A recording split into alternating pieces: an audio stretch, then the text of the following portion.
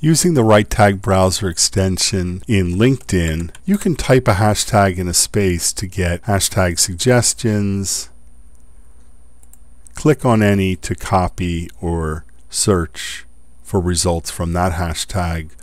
Or let's close the hashtag bar by clicking on the RiteTag browser button. You can also highlight a block of text and get hashtag suggestions for the whole block of text. And again, you may want to copy them all and then just cut out the ones you don't want. Saves a lot of time. Another thing you can do is upload an image and as soon as the image appears, right click on it and you get hashtag suggestions that are digging into the image.